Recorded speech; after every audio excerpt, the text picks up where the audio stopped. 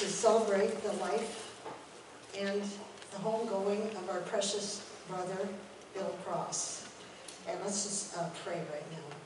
Father God, in the name of Jesus, we come before you and we ask you to undergird this service and every precious person here.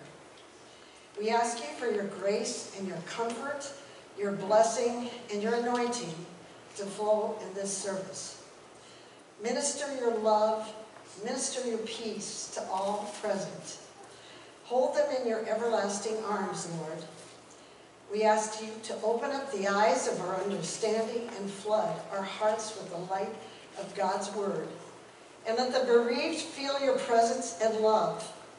We ask you to guide and direct all that we say, all that we do.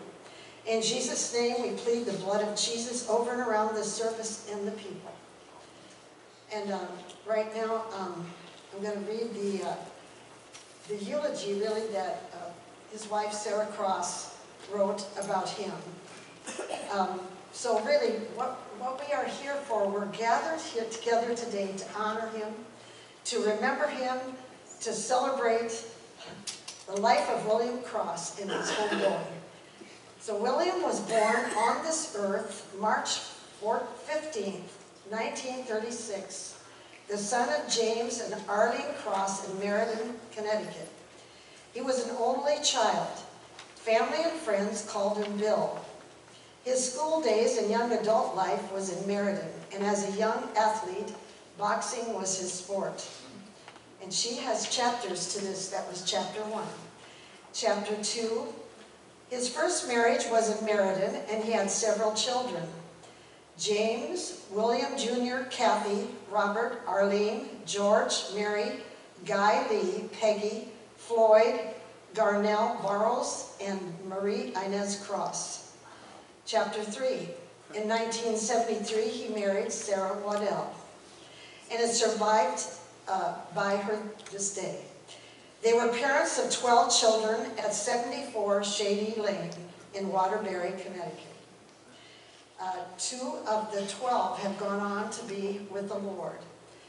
The survivors are Michael and Laura, which is the daughter, Pleasant, of California, Jacob, his son, and Tina Cross of Nebraska, Adam, his son, and Paula Cross of Connecticut, Jonathan and Sarah, the daughter, McLeod of South Carolina, Noah, his son, and Billy Joe of Nebraska, Mark and Ruth, the daughter, Spellman of Connecticut, Aaron Cross of Vermont, and Keith and Leah, the daughter, Ziesler of Nebraska, Joel of Connecticut, Michael and Rachel, the daughter, Grothy of Nebraska, along with 32 grandchildren and 13 great-grandchildren.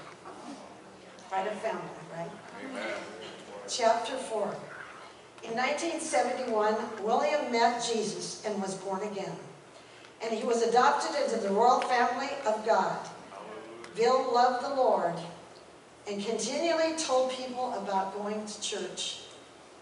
He was a member of Deliverance Church of God in Christ for 29 years, where he served as a deacon doing whatever he could for the church. In 2000, Bill and Sarah moved to Fremont, Nebraska. I will say hallelujah. he was a member of Living Word Church 19 years, where he also served as a deacon, doing whatever needed. He was a member of the Ministerial Association in Fremont also. At the time, I was teaching school and working, and um, I asked them to be my substitute at the ministerial meetings, and they, they went to those meetings, and there's a couple of clippings that got into the Fremont Tribune at that time, so that was really wonderful.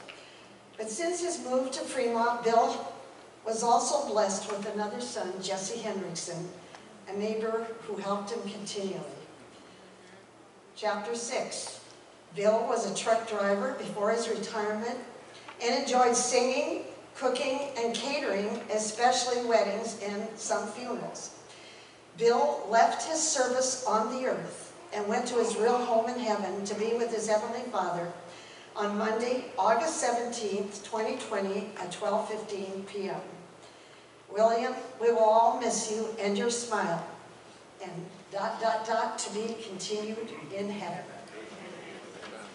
And now this is what I wrote.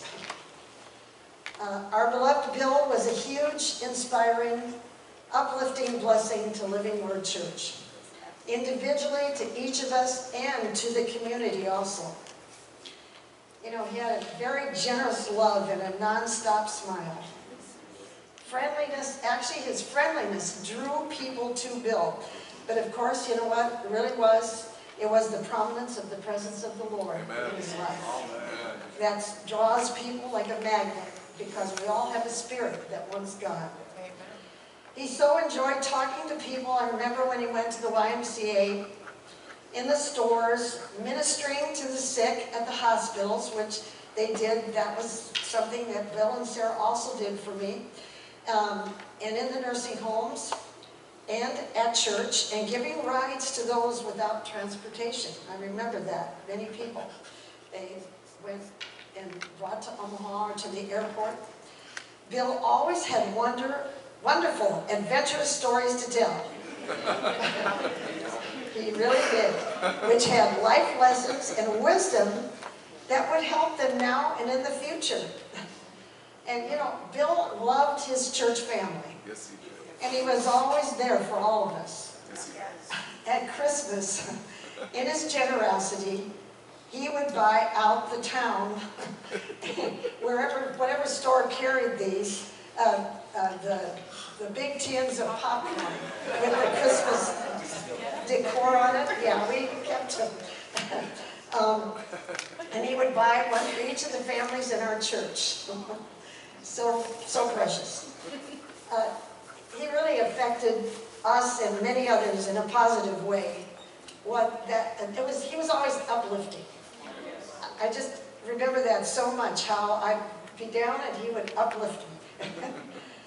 um, and he caused one to see the goodness of God in your life instead of the negative, and looking looking at the bright side of life with Jesus. What an awesome witness for God he was, always smiling and showing God's love. Truly, the joy of the Lord was his strength. Bill was very active at, at his church in Connecticut and also here at Living Word, where he served as a deacon in the ministry of helps, actually at both. Um, he helped us with the food bank, which we had once a month. He was always there present he would be ministering to the people and talking to them and loving on them. He regularly and diligently attended our prayer meetings, which we had for twice a week and we've done for years. Originally, we had a prayer meeting um, at the church. We had the church down by the airport and uh, we moved here in 2006. And um, we decided that we were going to pray for the city of Fremont I think it was five to six days a week. Uh, and we did every single night. And he, he came over, and that's how we met him, and he stuck. and when we had the prayer meetings, which we still do here, twice a week, on Tuesdays and Fridays, uh, he, he always came, always came. You know what, he was there whether it was snowing and icy, below zero weather, or hot or sunny, and I, he really actually attended even a few days before he entered the nursing home. He did. I can remember he would come with his walker and, you know, we'd all try to help him in, especially in the winter time, but he, he was just such a blessing at that prayer meeting. But uh, Bill was truly a Christian in action, and he valued his relationship with the Lord. You know, the one lesson he desired and taught the next generation and he often quoted to others was, give your heart to the Lord and go to church. give your heart to the Lord and go to church. And you know, he also said this with it. He said, everything else in your life is secondary. And it really is. His wife Sarah told me the very last time Bill witnessed, it was to his doctor. And I think when he, when he came out of the anesthetic, or was it just, yes, when he came out, and he, he used the verse, John 8, 36, whom the Son of God makes free is free indeed. And he just looked at it and he said that. You know, build for Christ on this earth. But now he's in a place of glory and of peace and full of the joy of the Lord. And we can all imagine this right now. He's standing upright. Yes. With no pain and no sorrow. Amen. You know, so often we say, well, I'm sorry for your loss. But you know, the Bible says in Philippians 1, 21, it says, for my life, this is out of the voice translation. Maybe most of you haven't heard that, but there is, it, it was the best translation. We looked it up in several. In fact, Tony Anderson gave me these.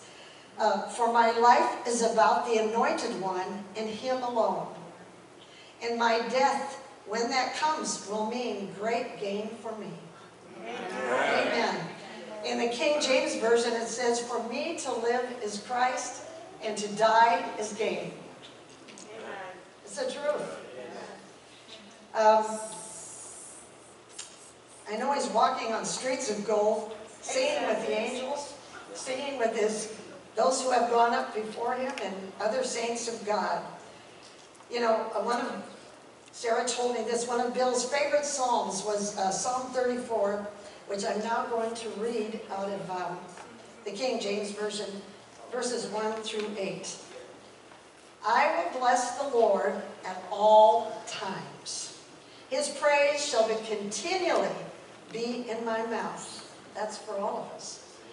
My soul shall make her boast in the Lord. The humble shall hear thereof and be glad. Oh, magnify the Lord with me. You know, that's calling us all to do it. Yes. And let us exalt his name together.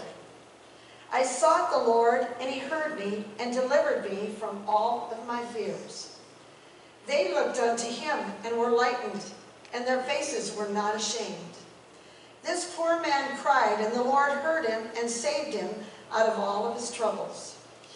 The angel of the Lord encamps round about them that fear him and delivers him.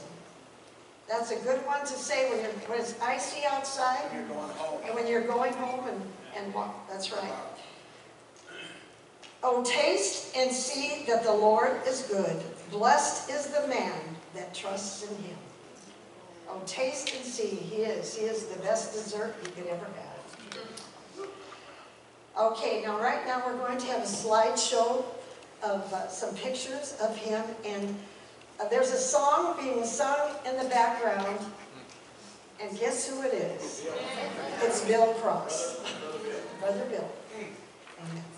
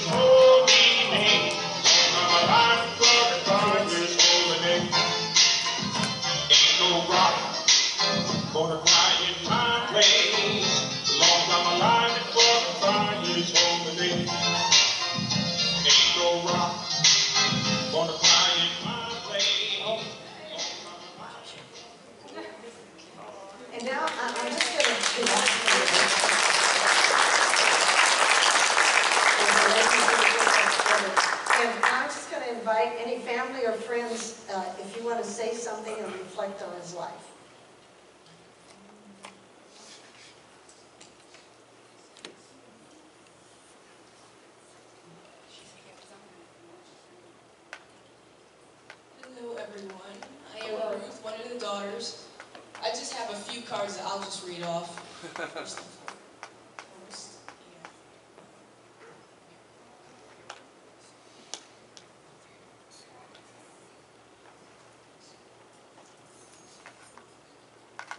Um, God's gift of time. We all need a time to grieve, quiet time for reflection, to sift through memories and come to grips with what has happened. And this is from Pastor Daisy Zimmerman at Pentecostal Assembly Church. Connecticut. With deepest sympathy, his compassion, his grace, his love. This is from Helen, Helen Moore from California. At a time when words are hard to find but love and care are deeply felt, this is from Sister Lucy Warren and family, Connecticut. Wishing you, peace and God's promise. Love the Pittmans. Thinking of you with care, sympathy, and your loss. Love Dana and Susan. That's Connecticut. With deepest sympathy, Steve and Sally Hanson and family. Remembering their beautiful song. In sympathy and prayer, brother Charlie and sister Annie Eason, Connecticut. Even when we know that someone we love has gone to a better place, goodbye is always the hardest thing to say. Love Ken and Debbie Beranek. Beranek. I'm sorry if I said it wrong. With, with sympathy, sending love and comfort with sincere sympathy, Ferba Johnson, Connecticut. Hope you feel the circle of love around you. Our most sincere sympathies, Rob and Barb Gangler, and family. Comfort, strength, hope, with sympathy, your friends and neighbors, Neil and Cindy Burns. And with sympathy, may it help to know that thoughts of deepest sympathy are with you during this time. And this is from Nye Pointe, which is a nursing home that took care of them. Thank you all. Thank you for everything you've done, all the food, all the cards, all this, the comfort, the prayers, the love for my parents. I mean, coming here to Nebraska on their own and all the love that they have, that you have shown. So this is coming from our family, all 10 of us and family. Thank you, thank you, thank you very much. We do appreciate it because we had no idea, you know, Nebraska. Everyone says you're going to Nebraska, what does that mean? My mom said they were led. They were led, and as we can see, all of the siblings, they were led, as we see. Yeah. So thank you, thank you, church, thank you, friends, thank you, everyone who has opened up their arms, their hearts, their homes, their love to them.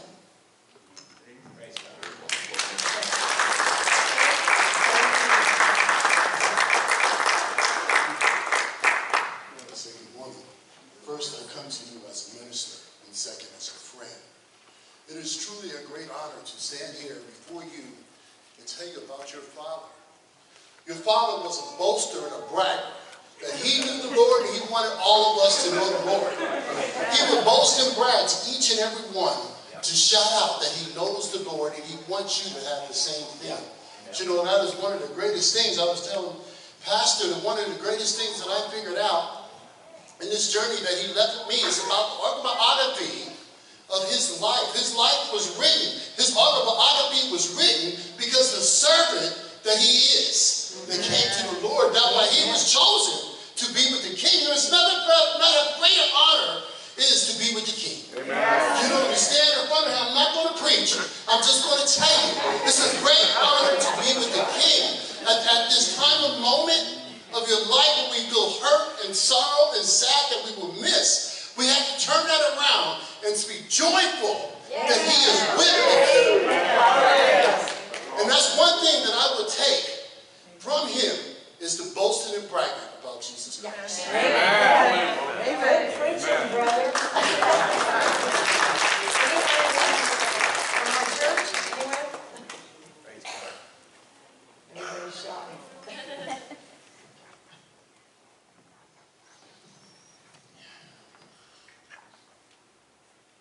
You know, Bill and I, you know, Tony knew it when he'd give you a hug, you were hugged.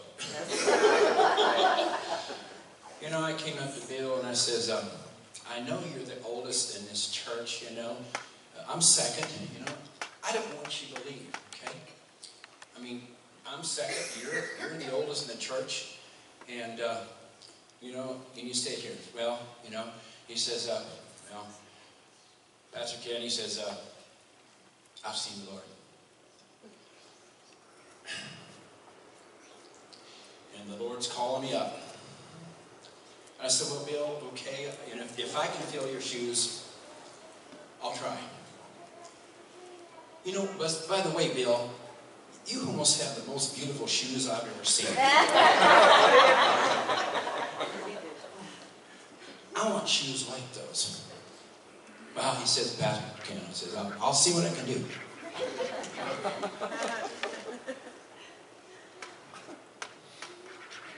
But I'll tell you what,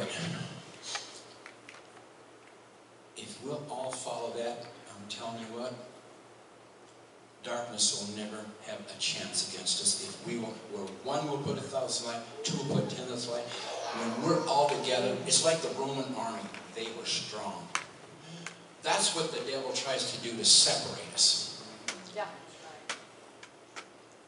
I mean, families are so important. I, I talked to Angela. You know, I dreamed about her last night. I said, you know, Angela, I walked out of the house and there was a clothesline there and a clothesline back there. I said, Angela, he said, and she snuck around and she shot me with a hose. I don't know why. I don't know why. But she got me all wet. Maybe it was because of the picnic we had. I don't know. Because I mean, we were wild. We had a good time here. But then I sneaked, I snuck around and I got her too. Then I woke up. But I'm just telling you, church, families are so important. I didn't have a family. Now I have a, I have a beautiful wife. A man has a wife, has a good, and he's honored to the Lord. I have a wife that's compatible with me. I'm telling you what, church, if you have a wife, you need to support her. You need to give her money. Not separate bank accounts. That's where the division is. A house divided against itself shall not stand. That's why her and I, we're- we're 53 years, years in marriage. Yeah, at first it wasn't good. I'm telling you that. But I tell you what, when you get in the Word of God and you start following the Lord, you'll have a marriage. If you'll treat her like a princess, but she's my pastor, she'll treat you like a king. And she does. It's, it's wonderful. It's harmony in the home. Get harmony in your home. We have two couples in this church right now that they're raising their children in the nurturing of the Lord, and it's so much fun to be around them. They don't talk about nobody. They just let the and the kids are um, even little Victoria comes up here and she's ushering now. That's Son- Sonia and Lonnie. He became a, a sheriff now. He went to to uh, uh, Grand Island. yeah, what? Deputy, Yeah, deputy. That doesn't matter, but anyhow. not the sheriff. But it's wonderful when you raise your. I'll tell you what. If you'll raise your kids, now listen. If you'll raise your kids, like he said, if you'll raise your kids to nurturing of the Lord, you'll never have trouble with your kids ever again. They won't take pot. They won't take drugs. They won't swear. They won't cuss. They won't lie. That's how we're raising children in this church by the parents, and it's wonderful. They're they're an example. I have my son too. Three daughters. They're beautiful. But you know what? Nobody's ever touched them.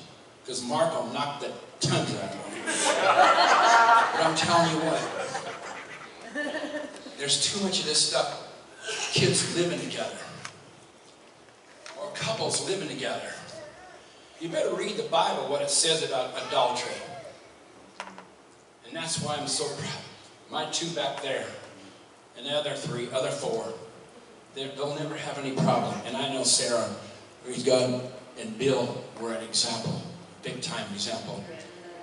And I just thank God I got to know him. Amen. I really do. Amen. You know, when you see people that you don't have to walk on eggshells around, it's fun to be around. And Sarah, she never talked about people, and neither did Bill. I'm telling you what, family, this is where you want to look at right here. This is what Pastor Jack and I are doing in this church right now. We don't talk about people. We pray for them. We wash them with the Word of God. If you have dirt on your clothes, you wash them with the, with the Word. What, remember the, the, the, the detergent we used to have? Shout! Remember? That's what we do. We shout the Word. We shout it to people to set them free. Because there's so many things that are going on out here right now encouraging children to do the wrong. But how about parents? I, I blame the parents, I'll tell you that. That's who I blame. Because those children, and it, those children, I'll tell you, if you'll raise your children like these two here, they'll be able to raise people from the dead because they have none of this religious stuff in them. They have no hate in them. Right. Think about a church. Do children worry about them? These two, do they worry about anybody? No. No.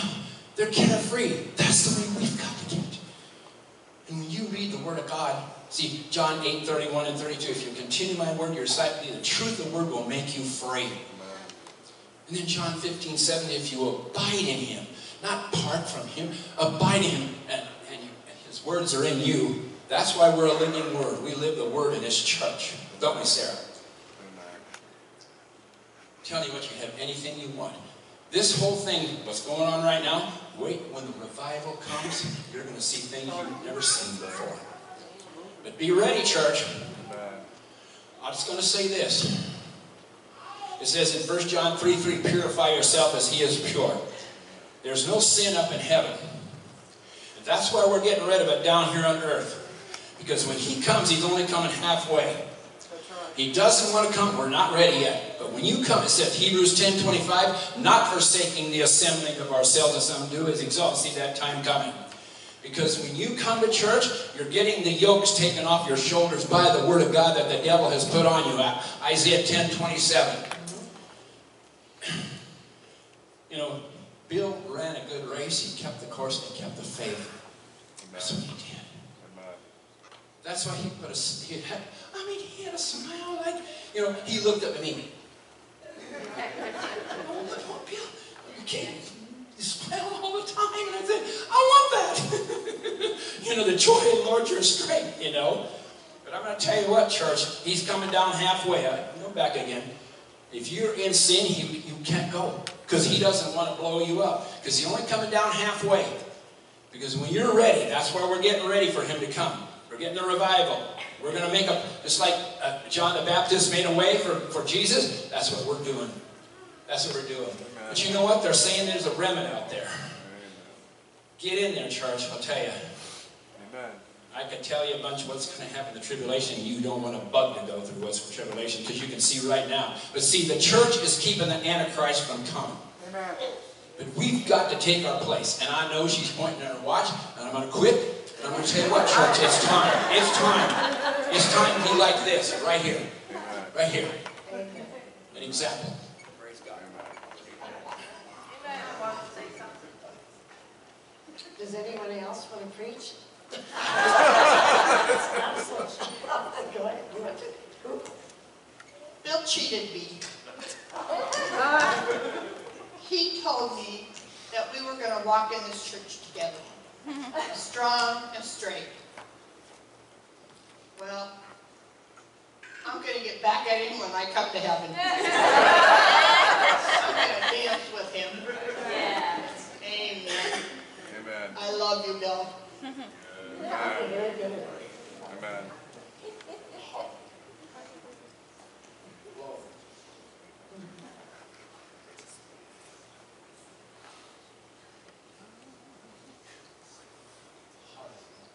I'm not sure what year it was, but it was about five or six years ago. Um, William and I took a trip to, to revival service in uh, Lakeland, Florida. And it wasn't just about the revival, it was about him and I getting to know each other. And there was no color. He, he was my brother in Christ. He was my best friend. And I loved him. But I know that he's watching right now. He's tuned in. All the witnesses are watching, and my mom just, just before he did, and they're together up there. Amen. They were, be- they were best friends too, and I know there's been, there's been a, a, a family reunion up there. And they're watching right now. Amen. And all the other ones that have gone home in your family, watching right now. Tuned in to Cloud Witnesses. It was a privilege to know him. Amen. And he changed my life. He helped change my life. There was no prejudice, no nothing. We loved each other. Amen. Amen. And I, I value that time with him. And he always come, and he always have a smile on his face. No matter what was going on in his life, even when he was, couldn't walk very well, he always had a smile on his face. Amen. He didn't think about himself. He thought about it, about other people, and then this flower my sister made. There's a candle lit, light, uh, flickering in it. My sister Sandy's back there. That candle represents he was a light wherever he went. Amen. And he was, he was a light. And I know that Cooper can say that too. When he went to Baker's, he was a light there. When he went to Walmart, he was a light. Amen. Everywhere he went, he was a light. Amen. So Sarah. I remember that Jesus walked through two dark places as it was dark. And when he walked through, light came. And wherever William went, light came. Amen. Amen. Amen.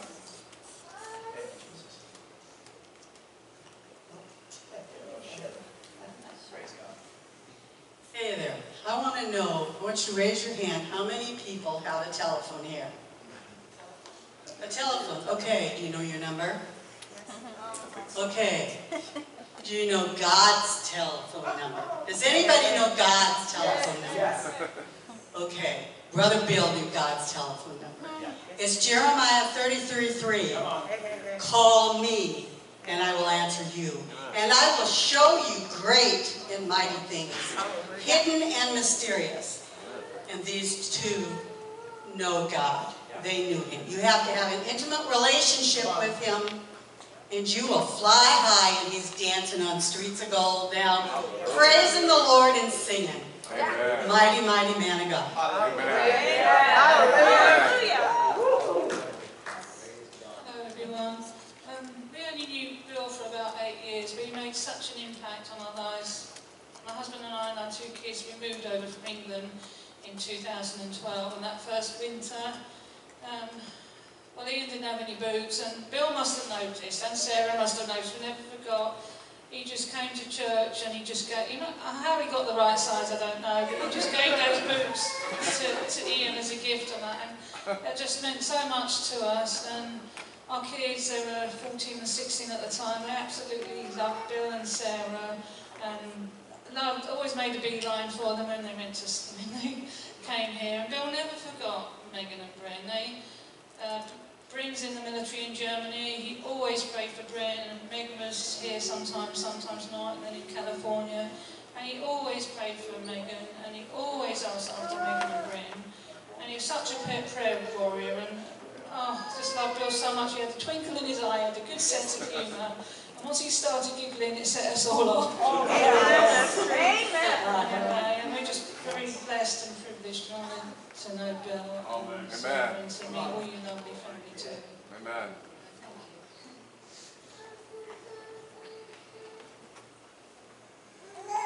I want to say something.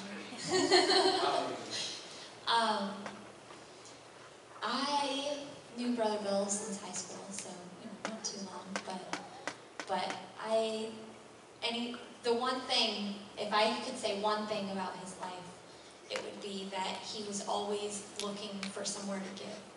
Yes. I, I mean, I can't tell you how many times, oh, how many people are in the prayer group? I wanted to give all of them a gift. oh, oh, how many families do we have in the church? You know, the pastor was saying earlier, the popcorn. Yeah. I have to give us popcorn every year. Uh, and it, it just, he was such a blessing Amen. to all of those that he interacted with, you, Amen. him and you both. Um, so, so I just, I really appreciate his life and his example to Amen. my families. Amen.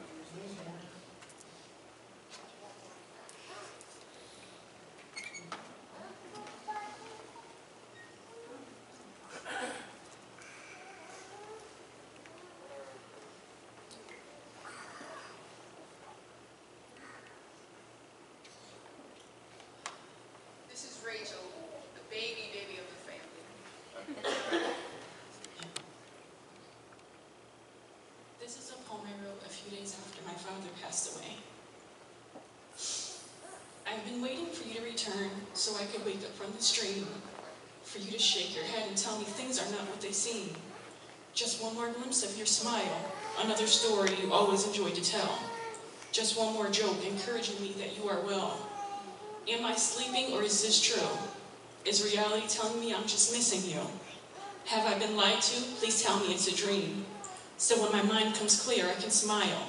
No more frowns, just hearing you talk for more than a while. No more sickness, affliction, suffering, or death. Just one more conversation before you take your last breath. Maybe it's selfish. At this point, I will take that name. Life is a gift, but for me, it will not be the same. Wow.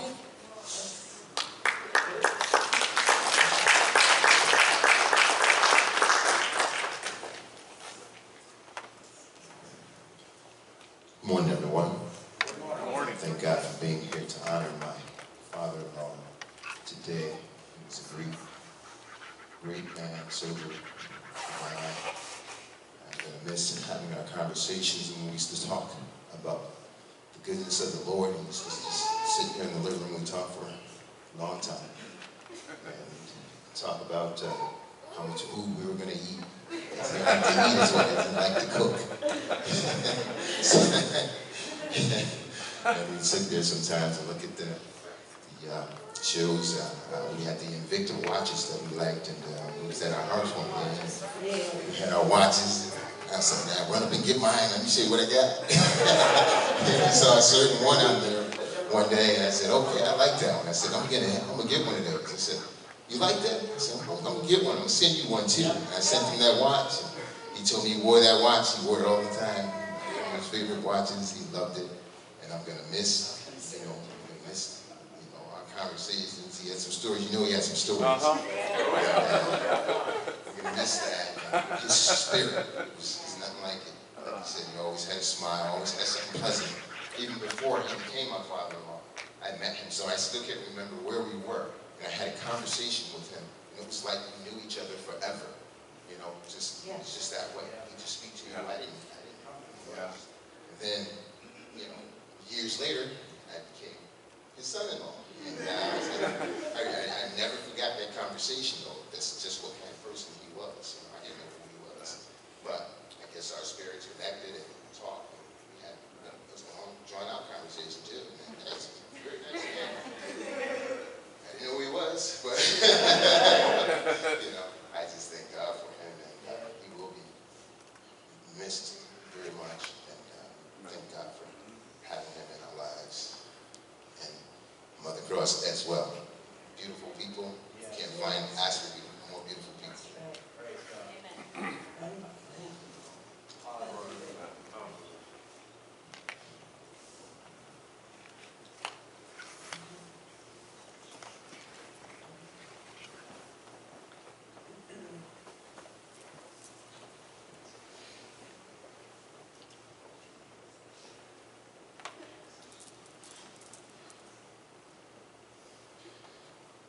I get a little emotional, just please, uh, ignore that, but anyway, um, Bill, he dressed up like a king.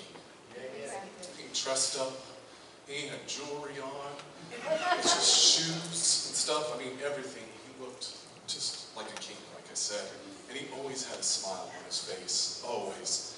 And I know when I would come into church, um, like somebody already said, he'd give you this huge hug, and it was such an embrace. You know, when he, he gave you that hug, Um, you could tell he, you know, he loved you. And he made you feel very special. Um, I uh, love talking to Bill about uh, recipes and food that he made.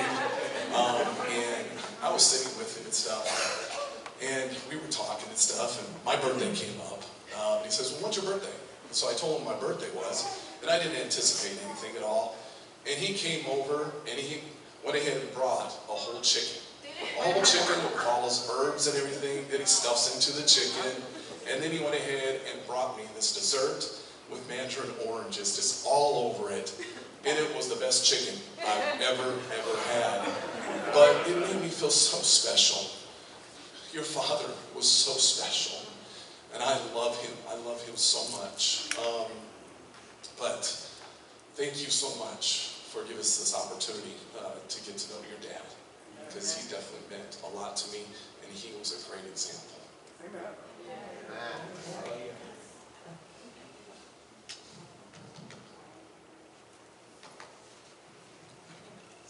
You guys are all special.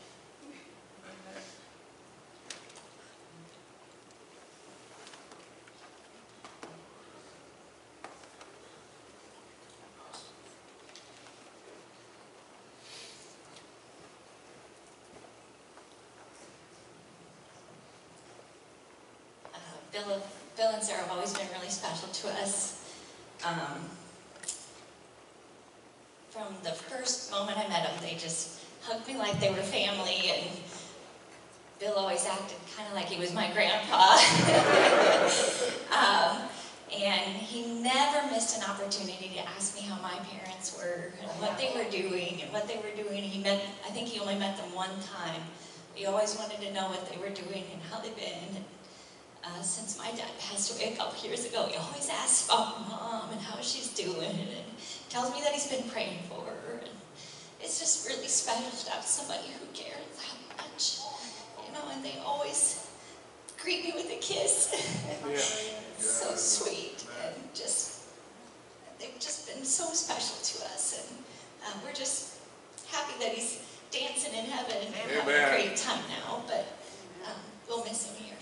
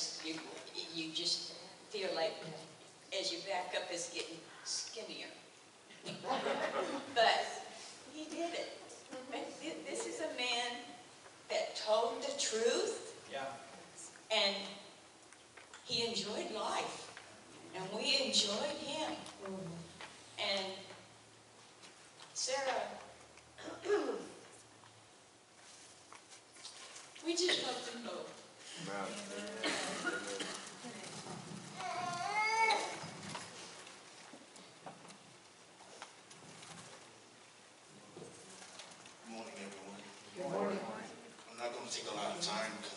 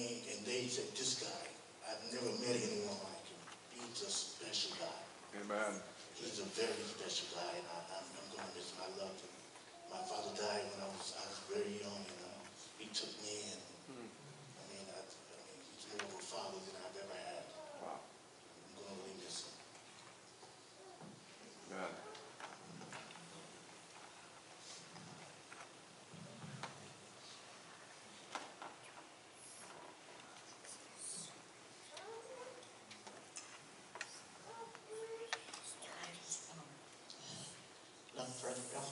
But I want to say, you know, what you just said, um, you didn't have to know him well. My older kids didn't come to church here because they don't live here, but they were, have been here a few times for special things. But when I told them Brother Bill had passed, they said, oh, he was such a nice guy. He always treated us so well when we were there. And, and they just, um, so you didn't have to know him. I mean, they were probably here three or four times, not, you know, a lot. So, you know, but but they knew who he was. you know, he always, he just always made him felt so welcome and so, and he always asked about them. I mean, he didn't, yeah, he always asked how my boys were doing. You know, and then of course the girls came more, so he knew them. And so Sarah taught a lot of the grandkids, and they all, they all remember Sarah.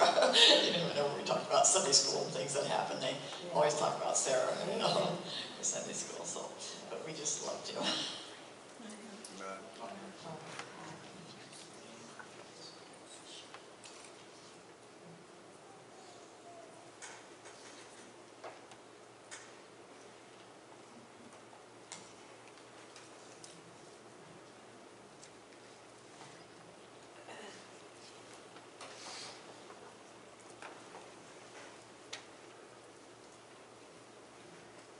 Anyone else? Last call. Oh, this is wonderful. I have to see what's next on the agenda. Glory to God.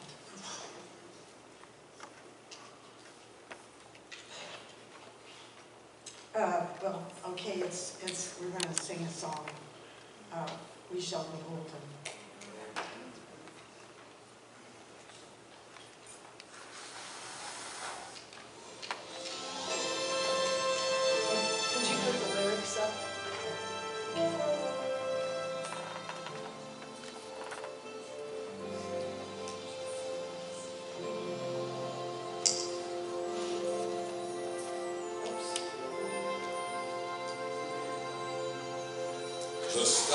shall unfold.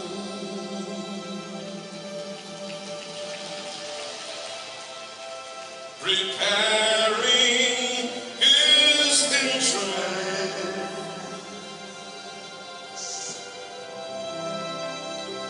the stars shall applaud.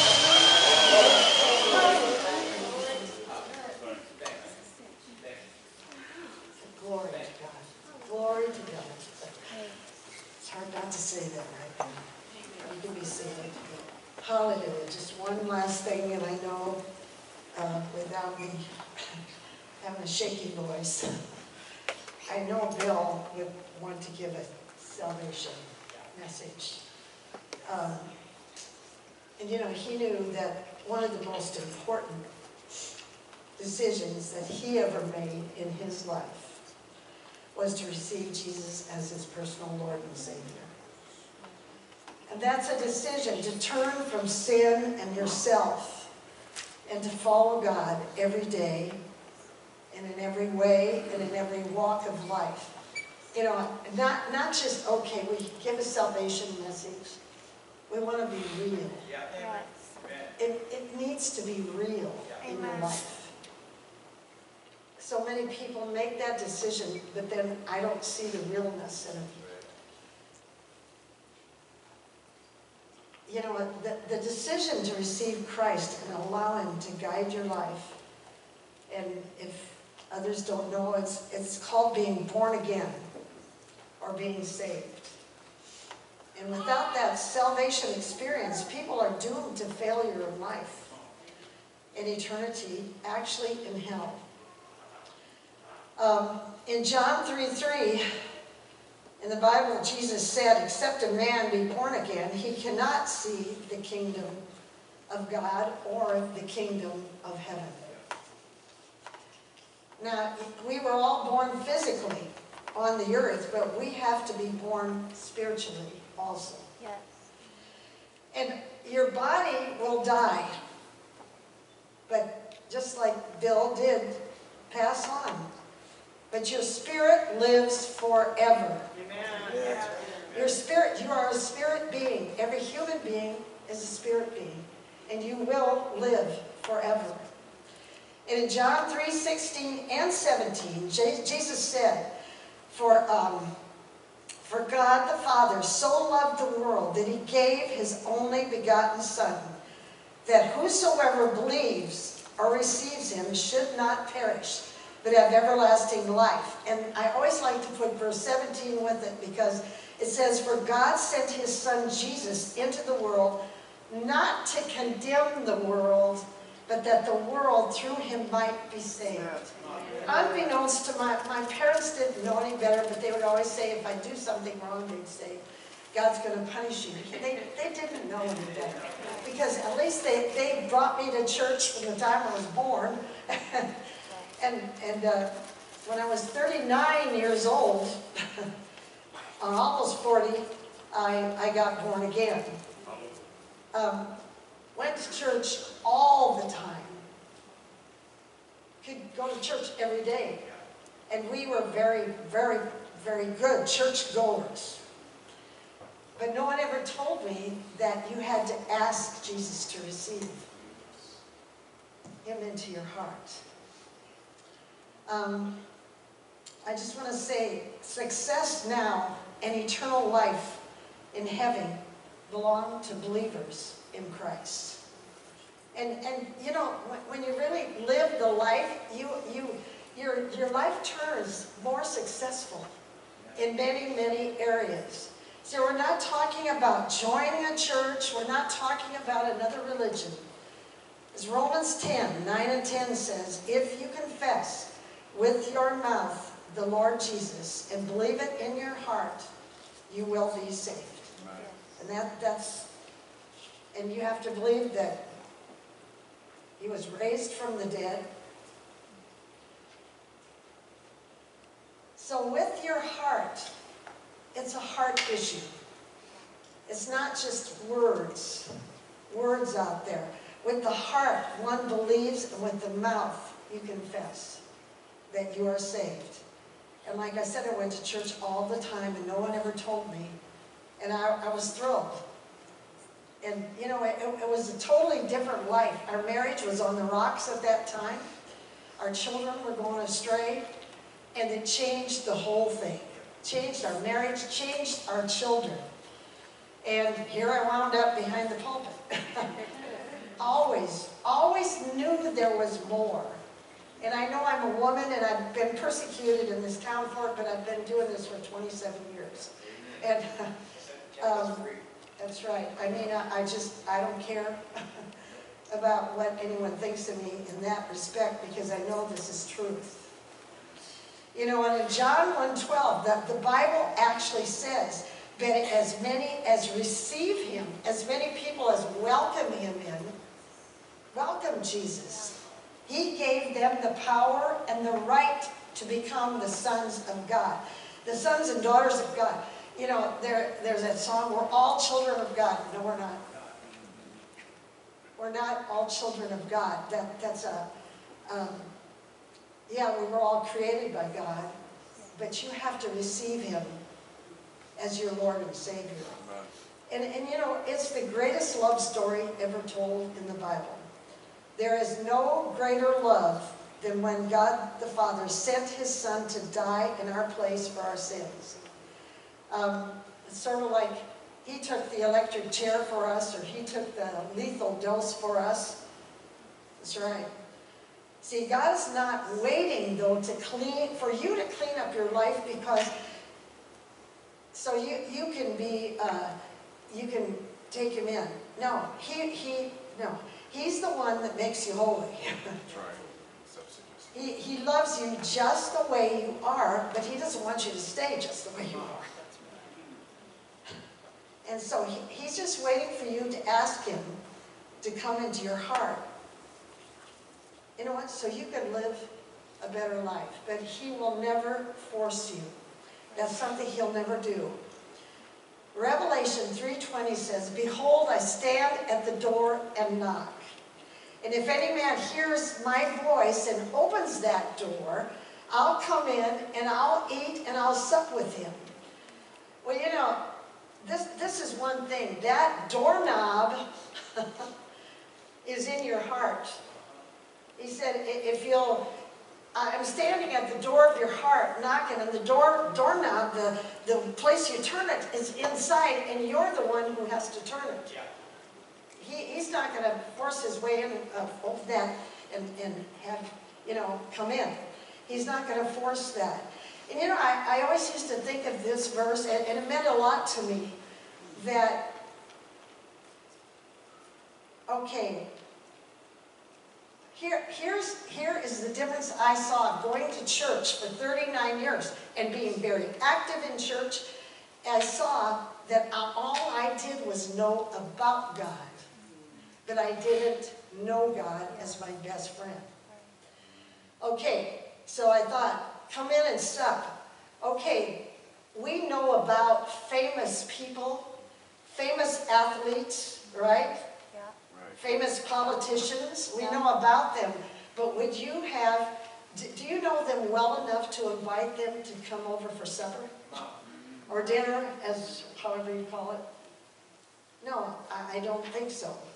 Right? Right. That's where it lies. I knew about it. I took catechism classes, things like that. So I knew about. But now I know him. He's my best friend. When something happens, I mean, I go to him. I trust you, Lord, with all my heart. You know, we bought this church for 650 I, I, I wasn't going to bring this up. $650,000. We had 50 people. and, and we paid it off. It was paid off last year. We still have probably that amount of people. And I, I went, God, one day I came in here and I cried at the top of my voice and I said, what have I done? God, was I supposed to do that? But he kept leading me.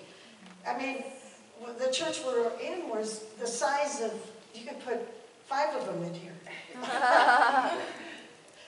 and that's the truth. And I, I thought, why are you leading me to that church?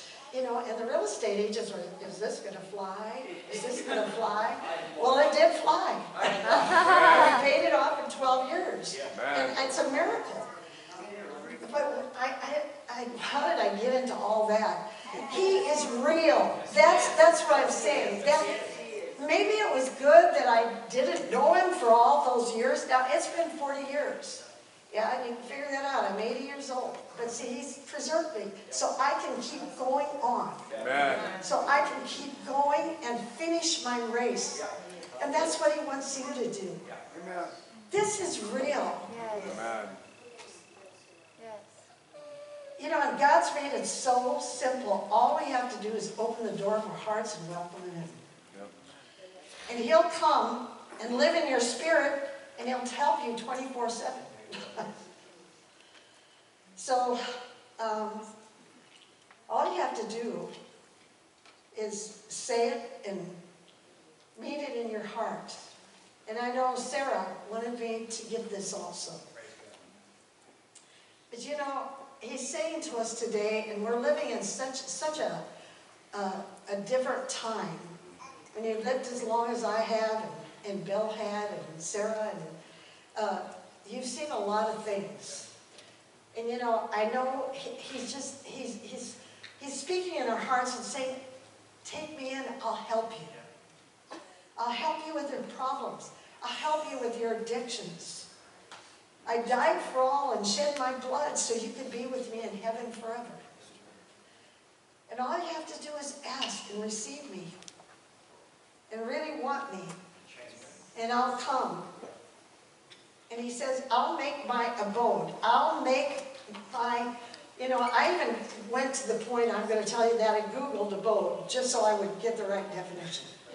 abode means I'll make my home in you. I loved you so much, and I laid down my life for you. And, and really, all you have to do is so simple to say a prayer. For a long time, we were in prison ministry, and I can remember um, we were preaching, we'd go into uh, Omaha Correctional Center. And um, this guy was sitting by me, and he, and he said, What do I have to do to be saved? Do I have to take classes?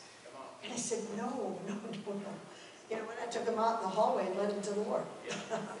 Just like that.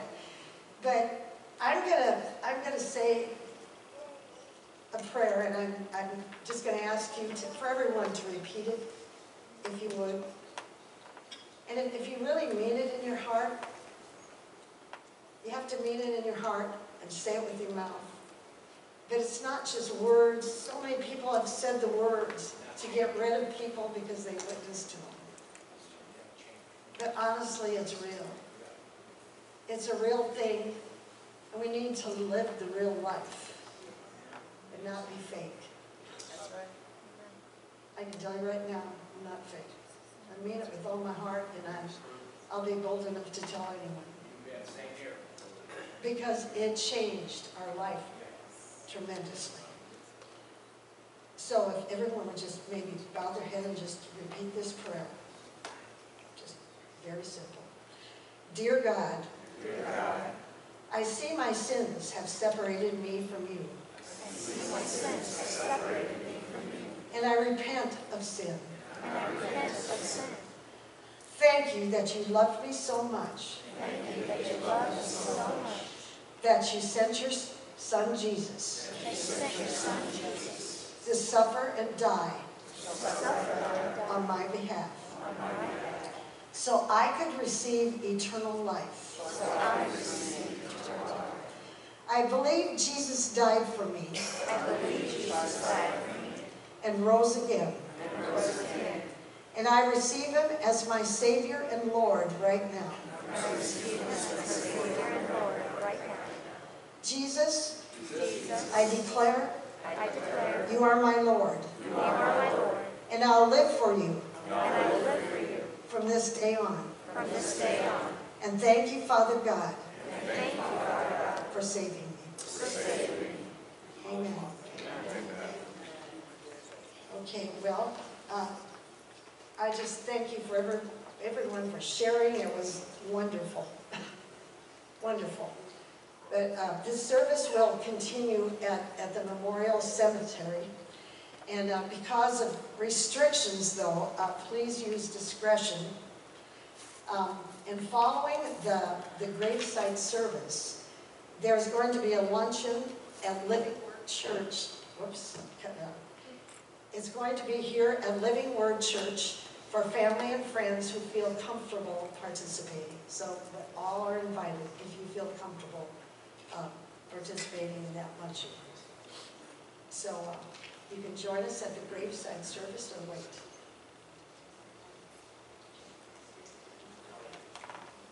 You can start the music. This is one of Bill and Sarah's favorite songs, also, that they sung at their church. Thank you.